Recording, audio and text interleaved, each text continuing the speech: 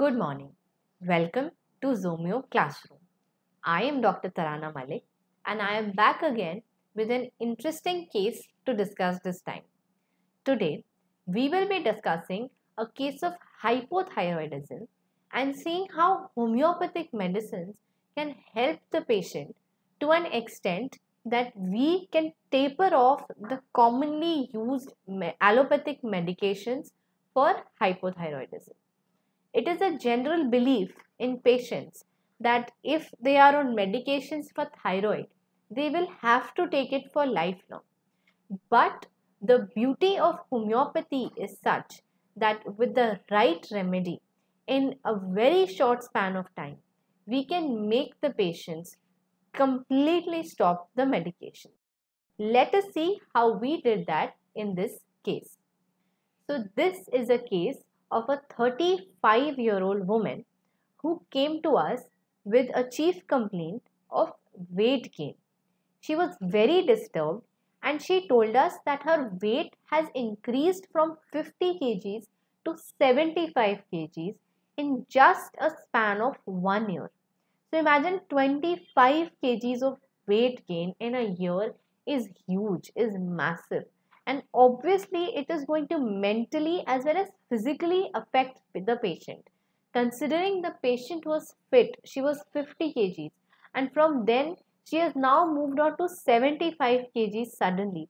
So this will have a strong impact on the patient. Moving on she also gave us the history that she did not get her periods since the past 4 months. There was bloating there was acidity. She told us that no matter what she eats, either she eat or she does not eat, there is a constant sense of bloating as well as burning in the chest which is present, which gets aggravated post eating anything and everything. Okay, next she gave us the history that she has hoarseness of voice. She said that while I'm talking, suddenly my voice becomes hoarse and this gets worse on voice exertion or when she talks a lot.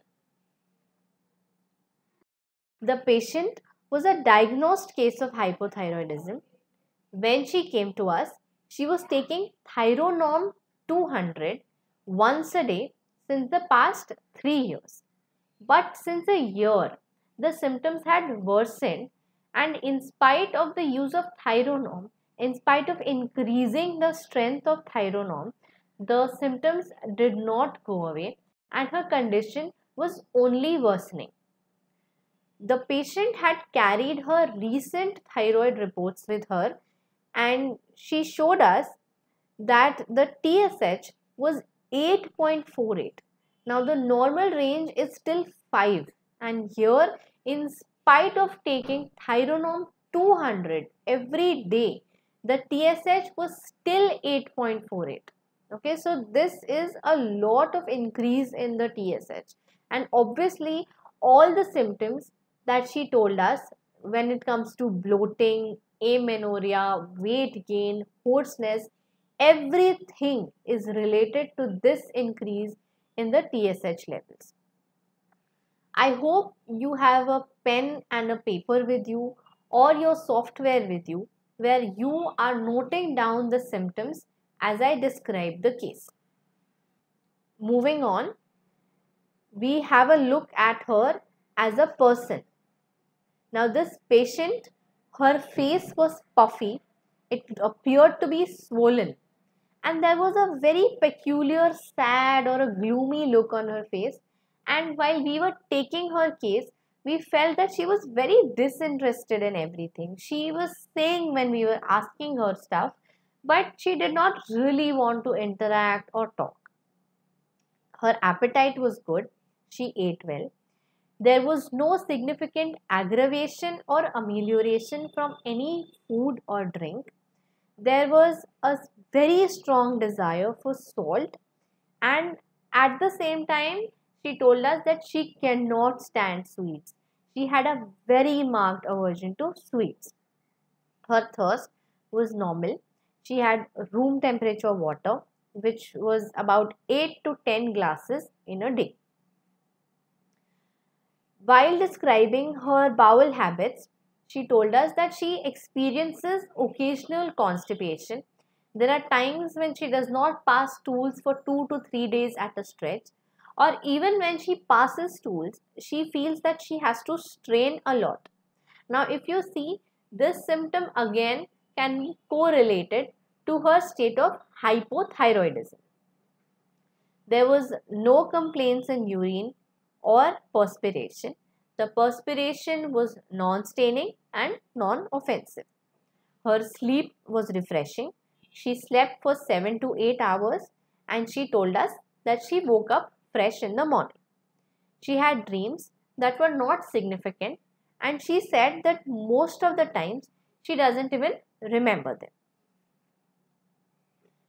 Now, the menstrual history she already gave us that she told us that there was absence of menses since the past 4 months.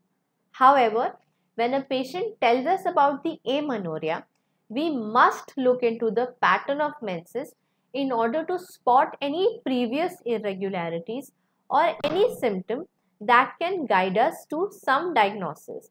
Now, here we know that the patient has hypothyroidism but amenorrhea could also be because of other causes in spite of hypothyroidism being present in the patient, which is why taking the menstrual history in detail is extremely important. So, the patient told us that before these 4 months, she got her menses regularly. Her cycles were regular, which were of 28 to 30 days there were no clots present. There was absolutely normal bleeding of red color. It was not dark. There was no odor. And she never experienced any menstrual problem in the past. The patient had two kids. The first one was a seven year old boy, and the second kid was a four year old girl. Both of them were full term normal deliveries and she told us that both her pregnancies were quite good. She did not face any trouble during the pregnancy. Moving on, thermally, the patient told us she does not like fan at all.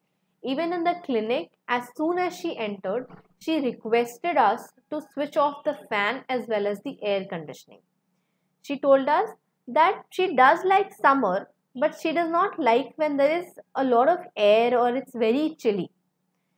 She bathes with hot water and covering was required throughout the year. She said, I cannot sleep without taking a blanket. So, this makes her a chilly patient. There were no significant complaints from light, noise, touch, jarring, motion, or sea. now, moving on to her family history and personal history, she told us that her parents, both of them, had a history of extreme acidity. They were on medications for acidity and they also had an issue of constipation. She herself did not have any other illness except for hypothyroidism, which was only present since the past three years. Otherwise, she told us that she has never been to a doctor. She was never admitted to a hospital. She never had to take any long term treatment, which is why this constant medication and treatment for hypothyroidism that she was taking was bothering her because for someone who's been healthy and then suddenly develops a condition which requires you to take a medicine daily can be really disturbing. Now let us have a look at her mind symptoms. The patient told us that she lives with her children and works in an IT company. Her job requires her to stay out of the house for most of the time.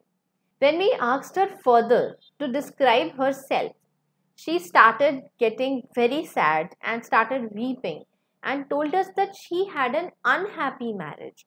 She had a abusive and non-supportive mother-in-law and an unsympathetic husband. She tried her best to make the marriage work, but somehow things did not shape out well and they ended up separating.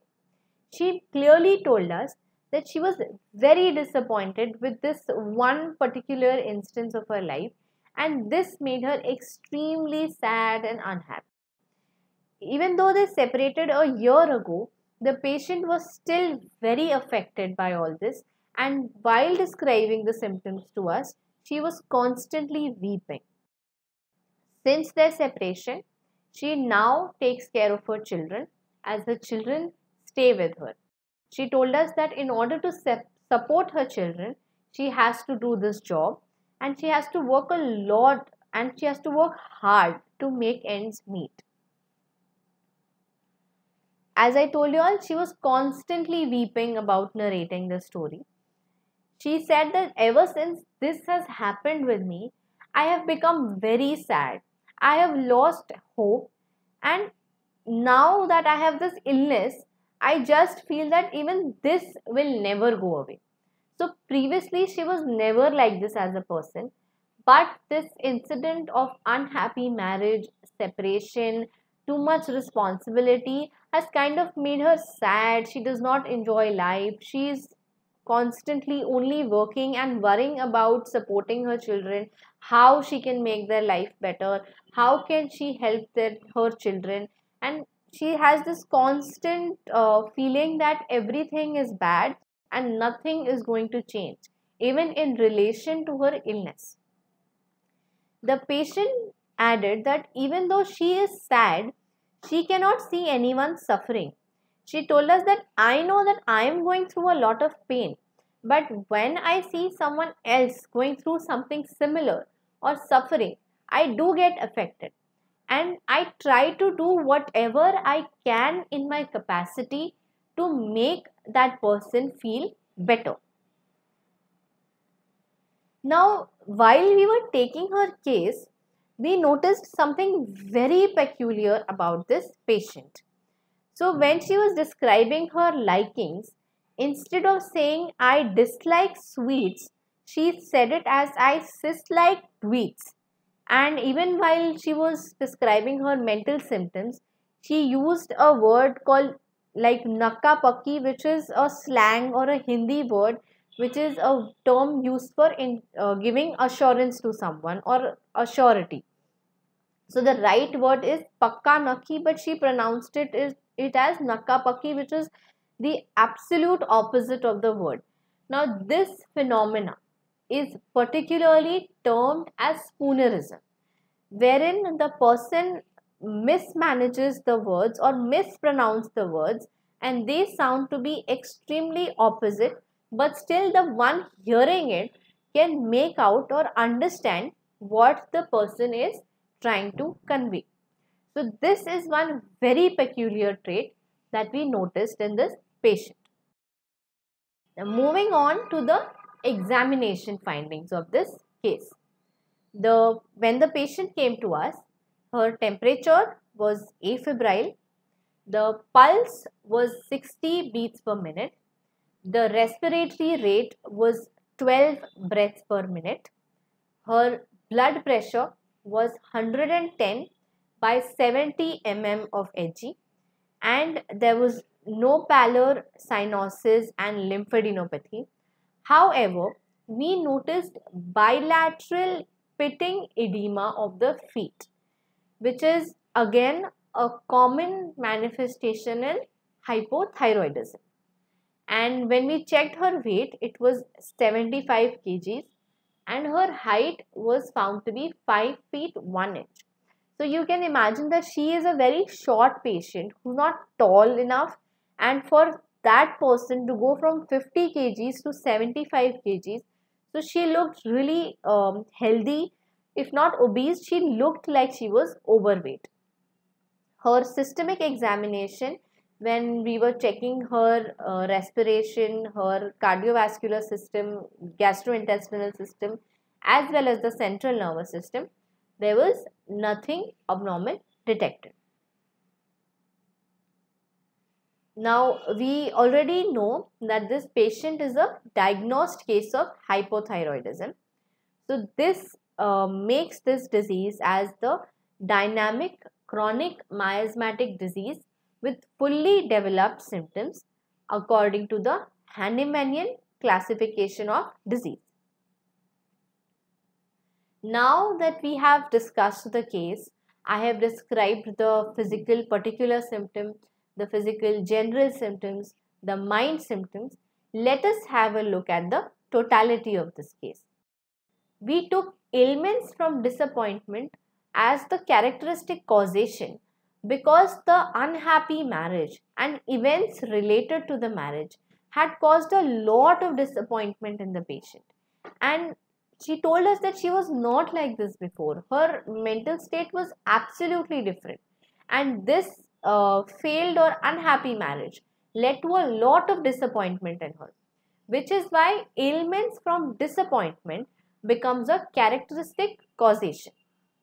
Moving on, while she was describing her problems to us, she was constantly weeping. So this makes it a characteristic mental emotional symptom. There was extreme sadness. The patient herself told us that she was sad. She did not like to do anything at all. So we've considered this in the totality and it makes it a characteristic mental emotional symptom. She was very sympathetic. This again becomes a characteristic mental emotional symptom. The next symptom we have considered in the totality is despair of recovery. Why? Because the patient was clearly telling us that she feels that her illness is never going to go away. So there was a lot of despair or hopelessness in this patient. Even though we know that hypothyroidism is not something that cannot be controlled, but the patient herself felt that this is not going to go away and I am never going to get better. Moving on, the next symptom we have considered is spoonerism, where, wherein she was pronouncing certain words differently. So this makes it as a characteristic mental intellectual symptom. We have taken desire for salt and aversion to sweets as this becomes a characteristic physical general symptom. Now that we have the totality, we've listed down the symptoms. Let us convert these symptoms into rubrics. Now, ailments from disappointment is found under the mind chapter of complete repertory as disappointment, deception aggravates ailments from. Weeping is again found under the mind chapter of complete repertory as weeping, tearful mood. The next symptom we have is sadness. It is found as it is under the mind chapter of complete repertory. Moving on, sympathetic is found under the mind chapter of complete repertory as sympathetic, compassionate too. Despair of recovery is found under the mind chapter of complete repertory as despair recovery of. Spoonerism is found under the Phatak's repertory. So when we searched for this rubric, it was only under the Phatak's repertory and it is listed as it is as spoonerism.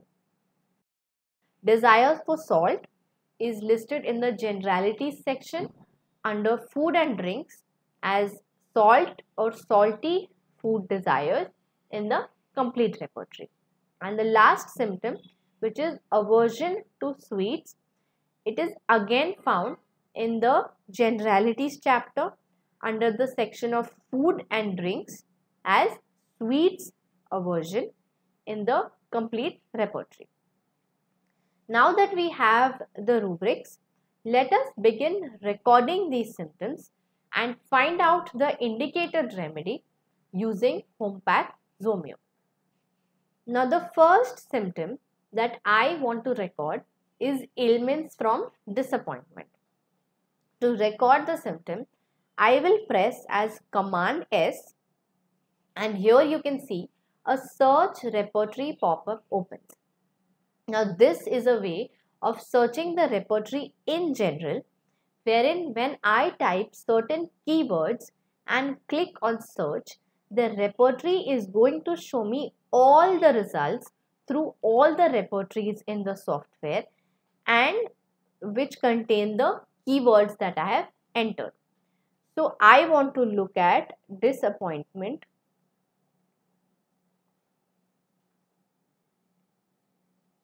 ailments from.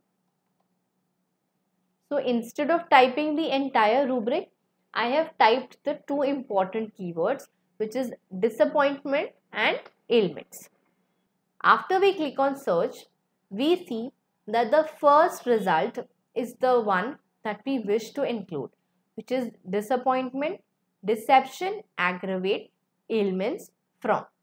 To record it, I will click in this box and this symptom is now recorded. Moving on, the next symptom we have is weeping. I will search for this symptom similarly by using command S option and type weeping in the search repertory section and click on search.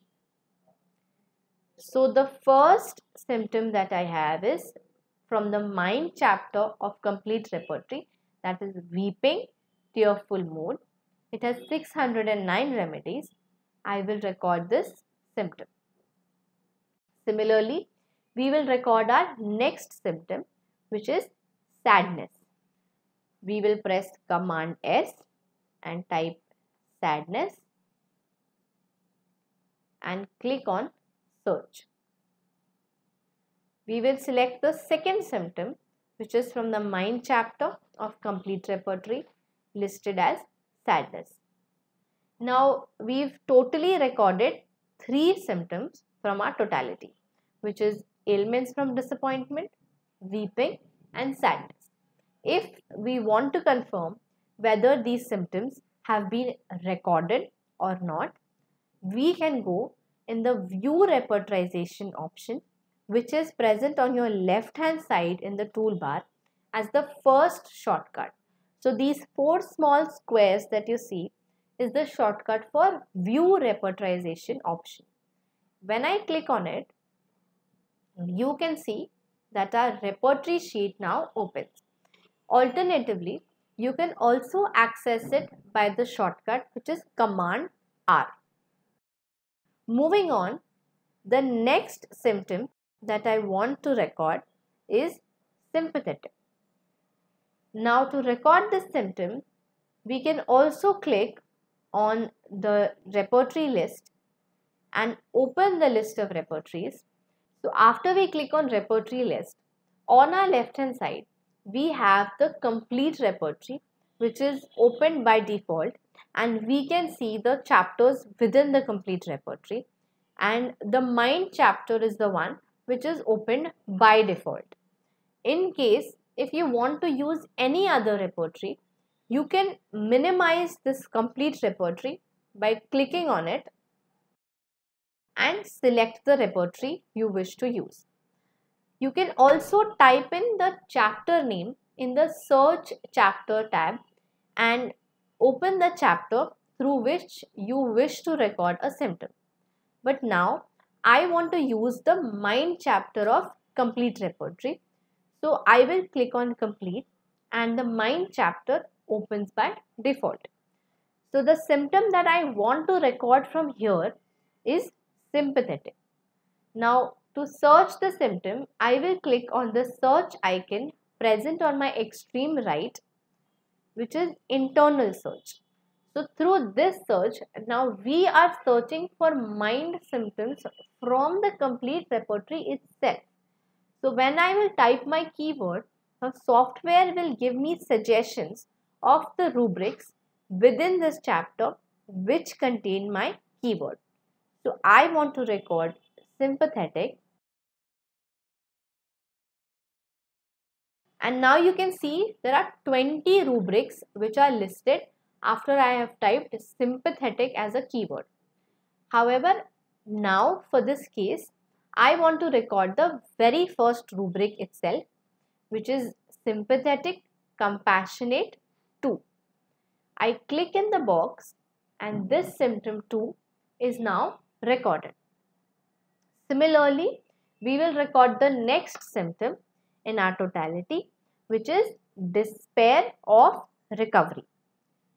So for this, I will first clear this selection that I have typed and now that I have cleared it, I will type despair of. So now you can see even though I have not typed the entire rubric, I can see that the third search result is the rubric that I want to repertorize. To record this rubric, I will click in this box and this symptom 2 is now recorded.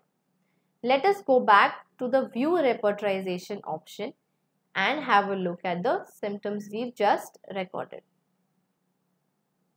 So you can see we've recorded the mind symptoms uh, which is disappointment, ailments from weeping, sadness, sympathetic and despair of recovery. We have one more and the most important symptom of our mind remaining which is spoonerism. Now to record this, we can directly do it through the quick repertorization option which is present on top of my repertorization sheet. You can also access the quick repertorization option by pressing command F.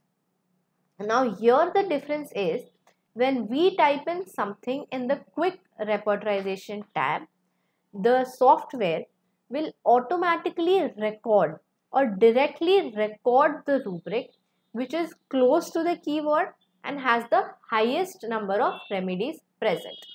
So you can use this uh, option in rubrics where you know that you have only one option to select from or the most common option to select from and directly include it into your repertorization sheet. So now I want to record spoonerism. I will type spoonerism and you can see even before I have typed the entire word it is already present in my word suggestion. So instead of typing the entire word you can directly click on the word suggestion that displays below and the word appears in our uh, quick repertorization tab. After we've done selecting it, I will click on this arrow which means record. So after I do this, the symptom is directly recorded. Now this uh, rubric is a small rubric and has only two remedies listed in it out of which we can see causticum is one of the few remedies. Moving on, let us add on the remaining symptoms from our totality and see if this changes. The next symptom I want to record is desire for salt. So again, I will type it in my quick repertorization option. First, I will clear spoonerism and type salt desire and click on record. You can see that the rubrics from generalities chapter under food and drinks salt or salty food desire has automatically been included. Now surprisingly causticum has become our first remedy which was the fourth remedy till we added spoonerism as a symptom. Moving on we have the last symptom in our totality which is aversion to sweets. Let us see after we record this symptom if the remedy changes or not. Again to record this rubric, I will clear the selection from my quick repertorization tab. Now to record this symptom, I will type the two important keywords which is sweet aversion and click on record. So we are done recording all the symptoms that were present in our totality. Now you can see that amongst all the remedies, we have uh, causticum as the remedy which is covering all our symptoms. However, we have other remedies like phosphorus, nitric acid and sulfur which are present in all the rubrics that we've recorded except for one which is spoonerism. Like I just said earlier, spoonerism is a very small rubric and has only two remedies. So, uh, and also spoonerism is one of the most important features of our case. So, let us have a look at the remedies present within the rubrics. Of course, one of them is causticum and see which is the other remedy. Now, to view the rubric, you can directly click on the rubric and you can see that the remedies listed under, under the rubric open up. So under spoonerism, we only have causticum and China. So this is very interesting. You can, you know, remember this that for a patient who has this uh, peculiar issue, you can only think of two remedies, which is causticum and China. So uh, we chose to prescribe causticum because of this one symptom that was only present in causticum amongst the other close running remedies as we thought that this was very very peculiar to our case. So we gave the patient causticum 200 in repeated doses every night till the menses appeared. Now, uh, in cases of hypothyroidism, the remedy selection is important. But along with it, we must also tell the patient about certain diet restrictions and certain things that she can do in order to feel better. Like in case of hypothyroidism, we can tell the patient to have some physical activity included as this will also aid in weight loss and will also make the metabolism faster. Coming to the diet restrictions, we have certain things that the patient should not be eating or avoiding if there is hypothyroidism present. We can read about instructions related to diet and nutrition in Hompath Zomeo through the utility tab where we can find diet and nutrition as the second option. We click on it and a new window opens which consists of 72 clinical conditions listed on my left hand side and the description on the right hand side. So we can either scroll down or type hypothyroidism in the search bar and you can see that the first option this is hypothyroidism or myxedema is present as the search result.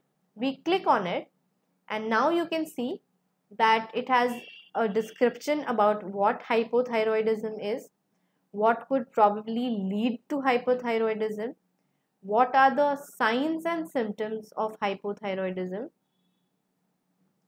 So you can see we can even find our symptoms of the case which is puffiness of the face, edema of the feet, weight gain, constipation, hoarseness of voice, and uh, you know menorrhagia or menstrual disturbances present and as listed under the signs and symptoms in the case. Moving down, we find the dietary management which we were specifically looking for. So here you can see that we have a list of foods to avoid like avoid goitrogens. Now goitrogens are foods which block the utilization of iodine in the body. Goitrogens are found in turnips, cabbage, mustard, soya beans, peanuts, pine nuts and millets. And cooking them usually inactivates these goitrogens. However, in foods like turnip and cabbage, even after the cooking, they have found that uh, the goitrogens have still been present in a large quantity which is why it is very important to instruct your patient to avoid at least these foods if there is a case of severe hypothyroidism like we have in our patient. Maybe once the illness gets controlled, once the symptoms get reduced, you can ask the patient to have them in moderation and there will be no harm. Moving down, we can see the list of foods that the patient must consume. So the patient can increase the consumption of iodine as it is an important building block of thyroid hormone.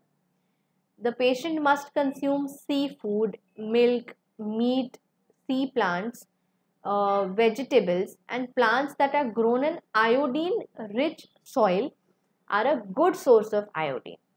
So basically things that grow near the sea are generally that or the seafood generally contain higher amounts of iodine in them.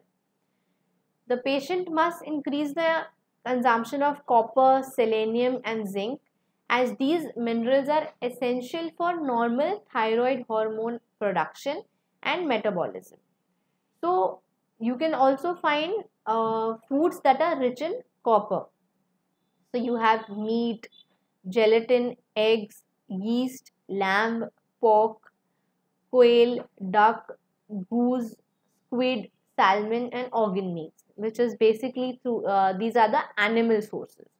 Moving down we have plant sources like soy and soy products, nuts and seeds, beans, legumes, almonds, broccoli, garlic, bran breads, cereals, etc. Copper is also found in dried beans like soybeans, lima beans, baked beans, lentils and barley. Lastly, you can also ask the patient to cook or use copper vessels as some amount of copper is obtained from cooking in copper vessels. Moving down, we can find foods rich in selenium, which are grains, Brazil nuts, wheat germ or brewer's yeast, fish, shellfish, eggs, red meat, chicken and liver. So basically in general, if you if the person is non-vegetarian, you must ask the patient to eat a lot of meat, shellfish, um, chicken, liver. So these are rich or rich in iron, selenium, magnesium, copper, all the micronutrients. Um, coming down to the plant foods, uh, we do not have a lot of plant foods that contain selenium. Uh, next we have zinc. So good dietary sources of zinc includes again seafood. Uh, in vegetarian foods, you can have the ask the patient to have oatmeal, uh, nuts and seeds, or milk and milk products. Um, again, fishes like shellfish, crab, and shrimp have a lot of zinc in them. Uh, plant foods, however, are low in zinc. So whole wheat grains provide a good amount of zinc. Lastly, you can ask the patient to increase the consumption of protein because tyrosine which is an amino acid is a precursor for making thyroid hormone and this can be found in milk and milk products, eggs which are the richest source, flesh food, meat, fish and poultry. Uh, so basically, if the person is um, someone who's a non-vegetarian and eats both a combination of non-vegetarian and vegetarian foods, you can see that they will get a good combination of these uh, micronutrients that are essential for thyroid function. But sometimes uh, we commonly see that if the patient is vegetarian or vegan, they might not have a lot of things from the list of foods that we just uh, discussed so in such cases, there is no harm in prescribing a multivitamin tablet to the patient which consists of selenium, zinc, copper. So in this way, you can be sure that the patient is at least getting all the essential micronutrients that are required for faster recovery in this case.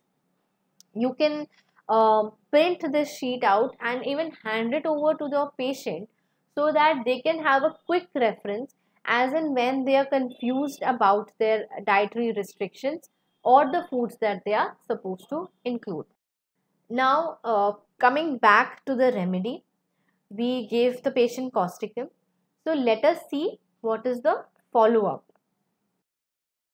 After we gave causticum every night, the menses came back within two weeks of taking the medicine. Thereafter, we reduced the repetition to two powders per week along with SL200 TDS. And the tablet, which is Thyronorm, was tapered off by 25 units per normal menstrual cycle, making it to be taking 25 units every week to once a month and then eventually stopping it within 6 months.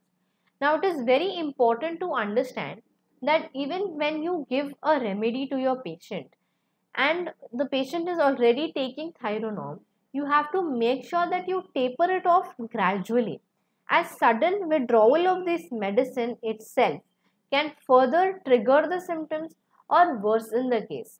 So sometimes when the patient starts feeling better and we withdraw the medicine, it is possible that it may worsen the case.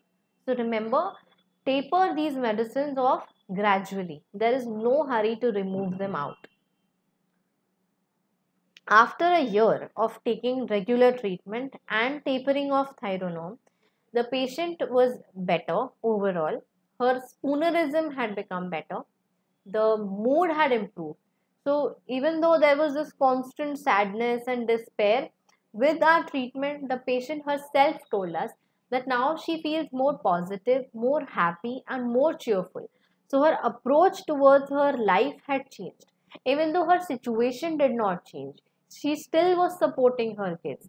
She still was earning for them. And somehow she still was worried about their future. But she was taking it positively now. She was not worried or anxious or hopeless related to her state. She felt that things may become better one day. Uh, her menses had become regular. There was no hoarseness or bloating. And she also had lost 12 kgs in one year. So she was very happy. She said that now I'm feeling so much better. I'm even losing weight. So you can see that one single simple remedy that we prescribed based upon the symptoms that we thought were characteristic. We didn't do anything. We just took the totality, converted it to rubrics and repertories. And we just compared the remedies as to see if it is covering all our symptoms or not and we gave causticum. So you can see it is not even complicated. This was a very simple approach. We gave causticum to the patient, but you have to be patient. Okay, in cases like these, results may not happen suddenly.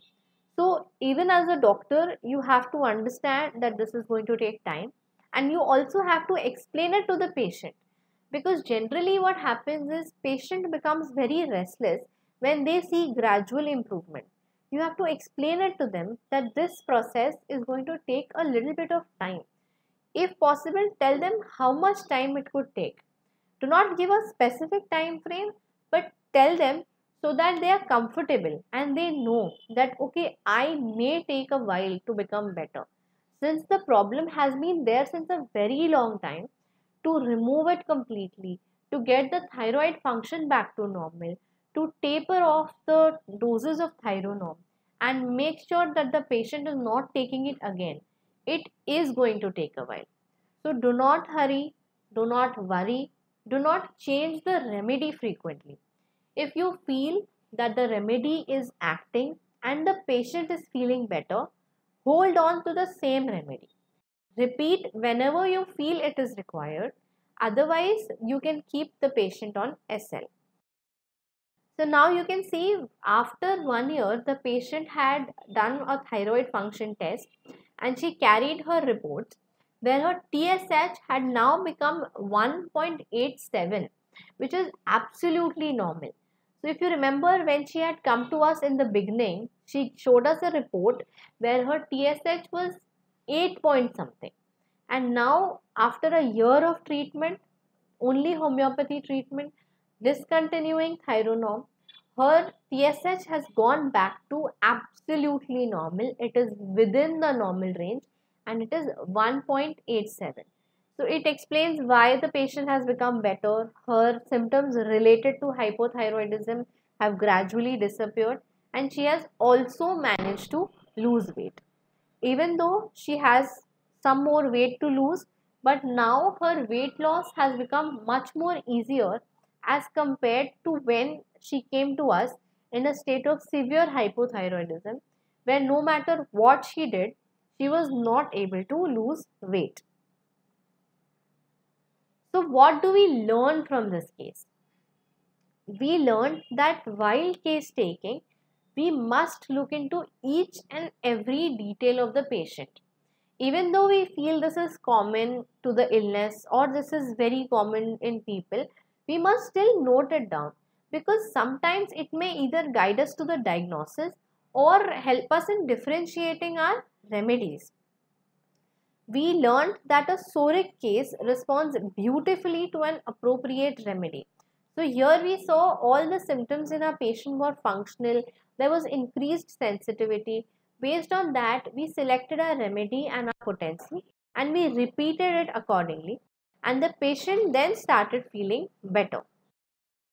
In such cases, appearance of menses becomes a very important criteria for progress of the case especially when we are treating a female who is in the fertile age. So that is all for today.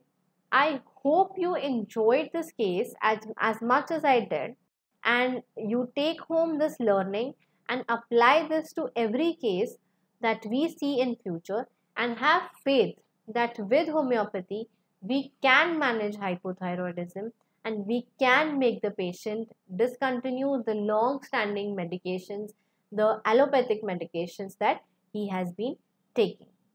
So, I will see you again next time with an interesting case. Till then, take care of yourself.